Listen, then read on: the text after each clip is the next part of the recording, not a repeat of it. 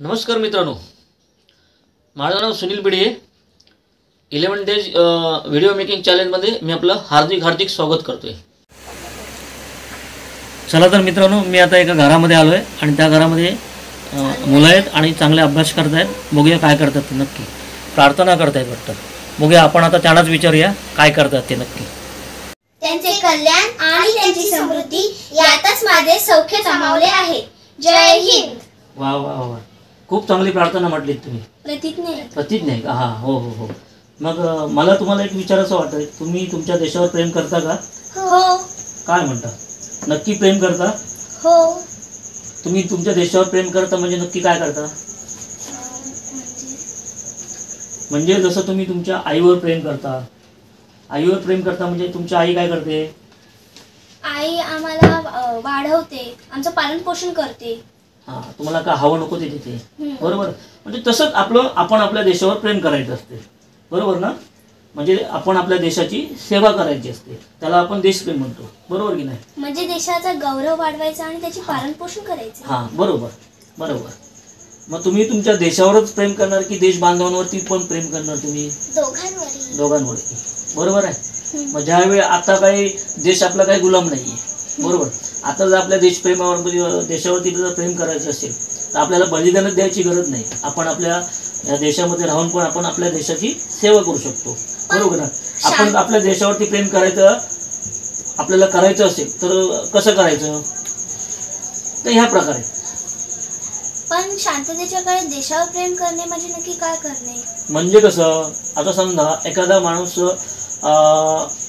त्याला काही मदत हवी असेल किंवा तो त्याच्यावरती काही दुःखाचा डोंगर कोसळलेला असेल तर त्याच्या दुःखामध्ये सहभागी होऊन बरोबर? त्याला त्या दुःखामध्ये मदत करून आपण त्याची मदत करू शकतो.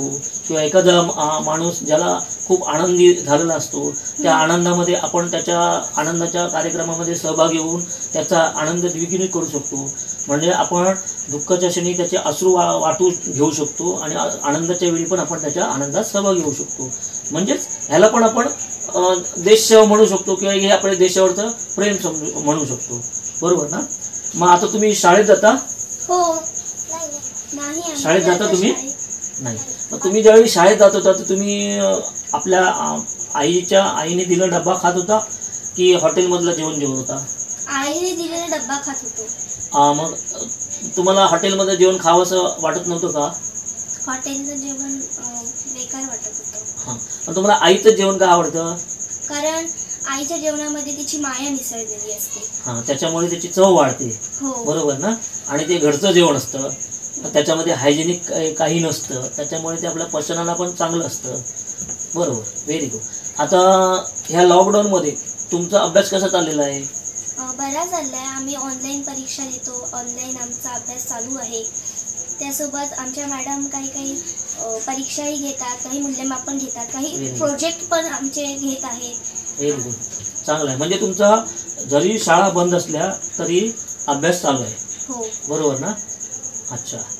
आणि आणि तुम्हाला कसल्या कसल्या खेळांची आवड आहे?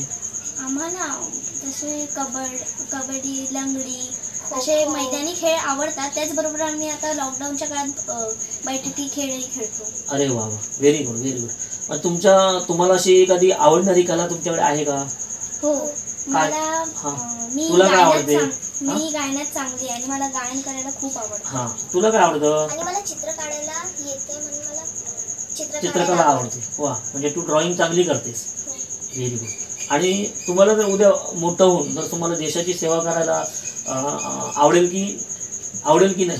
आवडेल. आम्ही एक हा. सज्जन नागरिक बनून आम्ही देशांची सेवा करू. हां व्हेरी गुड व्हेरी म्हणजे तुम्ही तुम्ही एक चांगले तुमच्यावरती संस्कार आहेत आणि तुम्ही चांगल्या घरातली आणि तुम्ही चांगल्या शाळेत जाणारी मुलं दिसताय.